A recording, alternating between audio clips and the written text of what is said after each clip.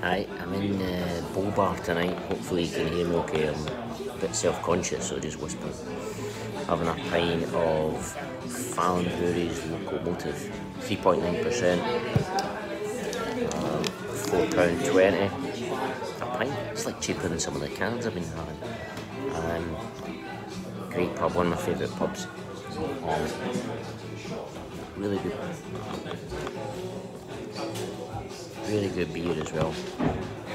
Nicely balanced, nice and fruity, hoppy, easy drinking. So yeah, it's got it all.